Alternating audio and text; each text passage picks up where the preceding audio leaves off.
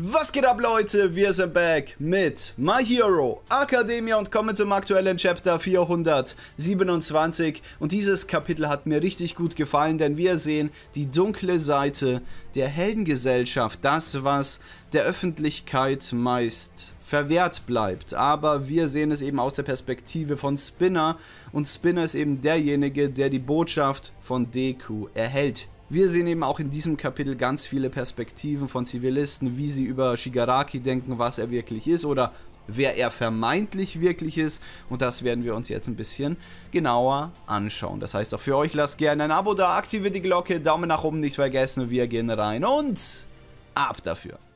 Ja, wie ich schon bereits erwähnt habe, dieses Kapitel dreht sich mehr oder weniger um Shigaraki oder das, was die Öffentlichkeit denkt, was Tomura Shigaraki ist oder wer Tomura Shigaraki ist. Und er wird eben als dieser typische Bösewicht, dieser Dämon abgestempelt, der nur Böses wollte, der durch und durch böse ist, der andere Leute getötet hat. Und dementsprechend ist der Fall klar, zumindest wenn man sich die erste Seite anschaut. Aber es ist ein bisschen facettenreicher, ein bisschen tiefschichtiger günstiger. Da gibt es mehrere Graustufen, die man auf jeden Fall beleuchten muss. Und eine dieser Graustufen ist definitiv Spinner, der eben auch die andere Seite der Medaille kennt, dass Shigaraki nicht dieser durch und durch böse Typ ist, sondern eher ein kaputter Typ ist, der dann dementsprechend so handelt, weil er von der Welt zu dieser Person gemacht wurde, die er heute ist, oder auch All for One hat einen ganz großen Beitrag dazu geleistet, das muss man auch fairerweise dazu sagen. Und was ich auch sehr krass finde,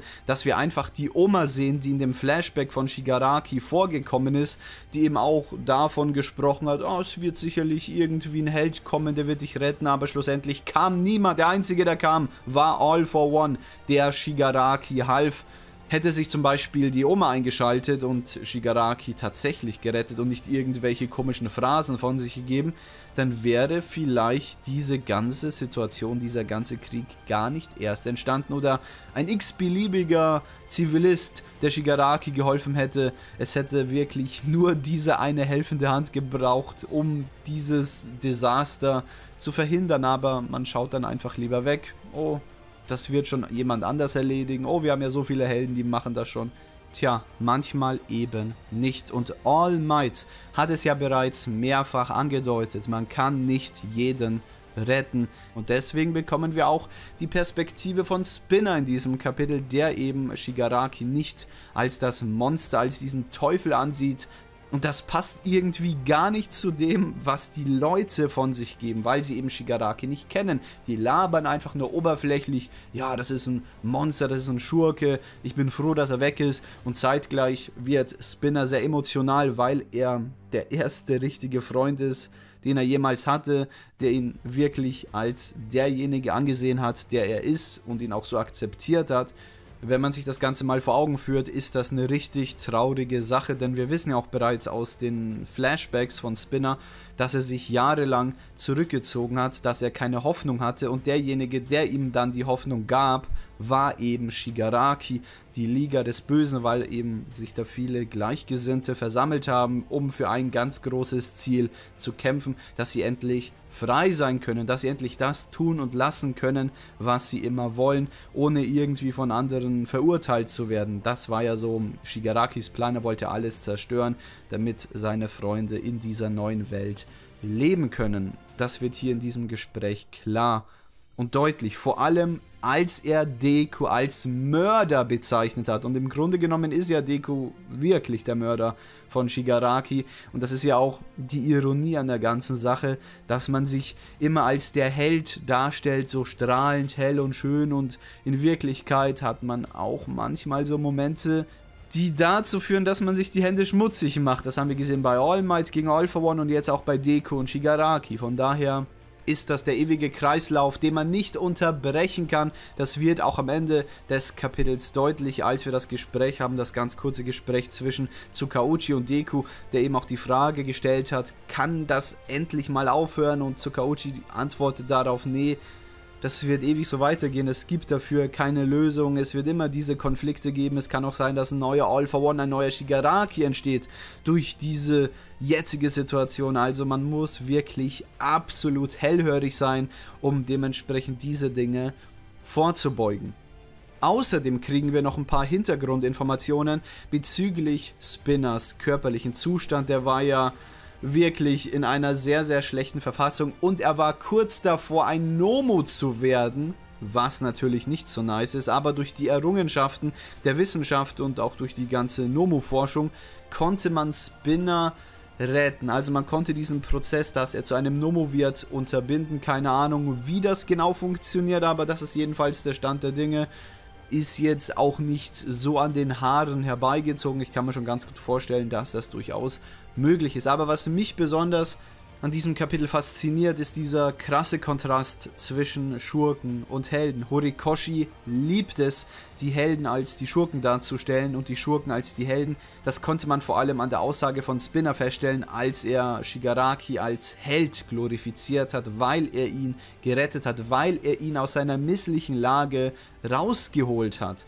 Und es ist eben immer eine Frage der Perspektive, was ein Held ist oder was ein Schurke. Du kannst auch als Schurke ein Held sein und das hat ja auch Shigaraki am Ende seines Lebens zu Deko gesagt, ey, ich bin der Held für diese Leute und dementsprechend mache ich auch weiter und weiche nicht von meinem Weg ab und in diesem Aspekt ist das auch konsequent zu Ende geschrieben. Vor allem auch als Deku derjenige war, der die Nachricht von Shigaraki an Spinner übermittelt hat. Und zwar bis zum bitteren Ende hat Tomura Shigaraki weitergekämpft, um zu zerstören. Das waren Shigarakis Worte und diese Worte hat nun Spinner erhalten, der natürlich hoch emotionalisiert das Ganze verarbeitet hat oder eben vielleicht nicht verarbeitet hat, kurzzeitig sogar durchgedreht ist und wir dann eben diesen krassen Kontrast bekommen, die sehr emotionale Ansprache von Spinner und zugleich dann die abwertenden Kommentare der Zivilisten, die eben Shigaraki nur als Monster bezeichnen oder als Teufel, wie auch immer. Und dass diejenigen, die jetzt Shigaraki so diskreditieren, in ein paar Jahren ihn schon vergessen haben. Aber Spinner vergisst nicht. Spinner wird niemals vergessen.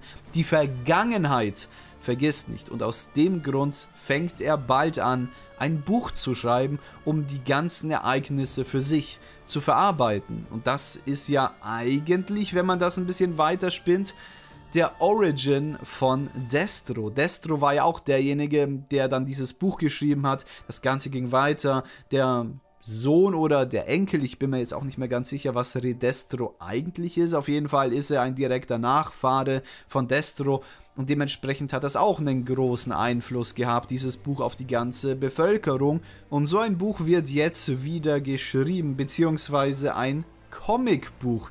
Denn das ist der Vorschlag von Deku, der einfach mal diesen Satz droppt. Und das ist echt wild. Also Deku unterstützt die Aussage von Spinner und sein Vorhaben. Das muss man sich mal vorstellen, weil er ganz genau weiß, ey, es wird sich sowieso nichts ändern und deswegen hat er auch die Aussage nachher bei Tsukauchi getätigt, ey, kann man wirklich gar nichts tun und Tsukauchi hat dann dementsprechend gesagt, nee, es wird sich gar nichts tun. Und deswegen befeuert Deku mehr oder weniger das Unterfangen von Spinner, was ich irgendwie auch gut finde, weil es ist wichtig, dass man beide Seiten kennt, um sich ein Urteil zu bilden und nicht nur die strahlende, schöne Seite sieht, sondern eben auch die dunkle, die dreckige Seite. Und Deku kann das ja am besten nachvollziehen, denn er kennt die beiden Seiten mehr oder weniger jetzt ganz gut oder hat sich zumindest versucht, in die Lage der Schurken hineinzuversetzen.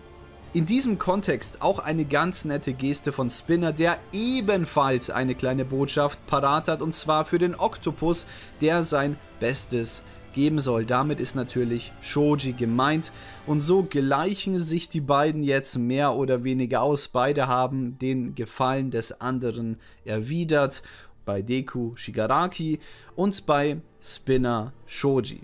Das ist auch mehr oder weniger der finale Punkt dieses Gesprächs und wir machen weiter mit einem anderen Gespräch und zwar der Chef der Yakuza-Familie und Chisaki. Ja, das ist tatsächlich passiert und fragt mich bitte nicht, warum der Boss einfach mal wieder am Leben ist und wieder bei Bewusstsein ist. Ich weiß nicht genau, wie das funktioniert ohne den Quirk von Chisaki, also Overhaul, aber irgendwie ist er wieder am Start aufgrund der technologischen Entwicklung der Support-Gadgets.